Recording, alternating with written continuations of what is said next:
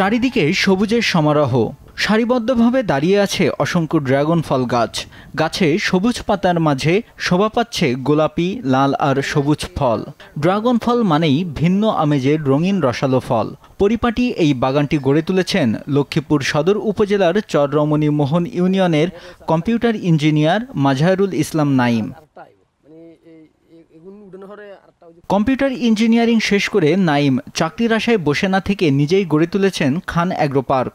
দুই হাজার একুশ সালে চররমণীমোহন গ্রামে তিন একর বিশ শতাংশ জমি লিজ নিয়ে ড্রাগন ফলের চাষ শুরু করেন।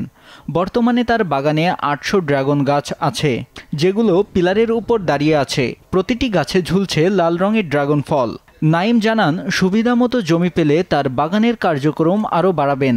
পাশাপাশি কেউ যদি ড্রাগন বাগান করতে আগ্রহী হন, তাকে সার্বিক সহযোগিতা করবেন।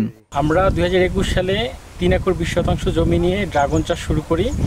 গত বছর কিছু ফল আসলেও আমরা সেগুলো তেমন একটা বাজারজাত করিনি, বাট এই বছর আমরা ব্যাপক হারে বাজারজাত শুরু করেছি। আশা করছি এই বছর শেষে আমরা প্রায় দশ লক্ষ টাকার মতো ড্রাগন বিক্রি করতে পারব। আমরা যদি আমাদের সুবিধা মতো জায়গা পাই তাহলে আমরা এই জমি এই চাষটাকে আরও বাড়াতে চাই সম্প্রসারণ করতে চাই। নাইমের ড্রাগন বাগানে দশ থেকে পনেরো জন শ্রমিক কাজ করেন। পুরো সময় দেখাশোনা করেন নাইমের বাবা।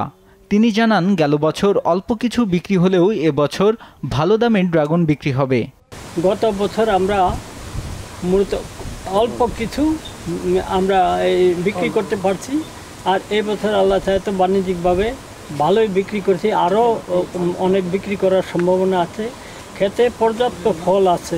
নাইমের ড্রাগন বাগান দেখতে দূর দূরান্ত থেকে আসছেন দর্শনার্থীরা।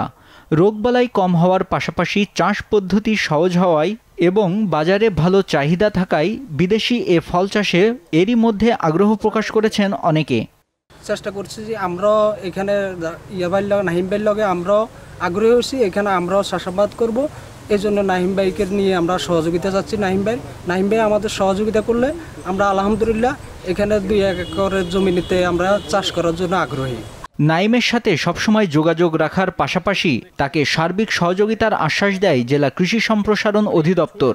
খান এগ্রো ফার্ম তো সে একজন আপনার প্রকৌশলী এবং সে তার প্রকৌশল বিদ্যার ওই চাকরির পিছনে না ঘুরে সে এখানে ড্রাগন ফলের বাগান করছে এবং তার বাগানটি চমৎকার। আমরা গেছি, আমাদের উপজেলা কৃষি অফিসের সাথে সে প্রতিনিয়ত যোগাযোগ রাখে।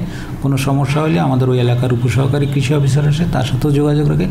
এবং আমিও তাকে বলে বলে এসেছি, তার কোনো সহযোগিতা লাগলে যাতে আমাদের সাথে যোগাযোগ করে, আমরা তাকে তার আর্থিক সহযোগিতা যদি লোনের প্রয়োজন হয়, সেটাও আমরা ব্যাংক থেকে লোনের ব্যবস্থা করে দিব। তা জেলা কৃষি সম্প্রসারণ অধিদপ্তর সূত্রে আরও জানা গেছে, জেলায় এবছর প্রায় একশো একর জমিতে ড্রাগন চাষ হয়েছে।